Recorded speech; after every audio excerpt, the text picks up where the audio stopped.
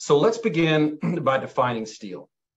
Steel uh, is a mixture of alloys made up mostly of iron. So one of the best ways that I know to explain to explain this is by using the analogy of, of cooking a pizza. So, you know, when you bake a pizza, you have the different ingredients. You have the sauce, you have cheese, uh, meat or veggies to achieve your desired outcome. So think of making steel in the same way. And instead of pizza ingredients, you know, let's use the periodic table of elements. And here are the fo- here are the four most commonly used elements uh, in the steel making process.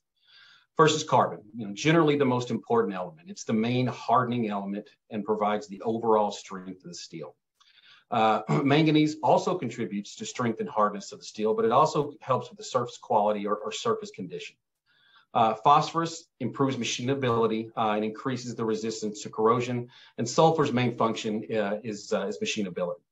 Now, each of these ingredients, you know, combined with some others, can be adjusted to fit countless applications.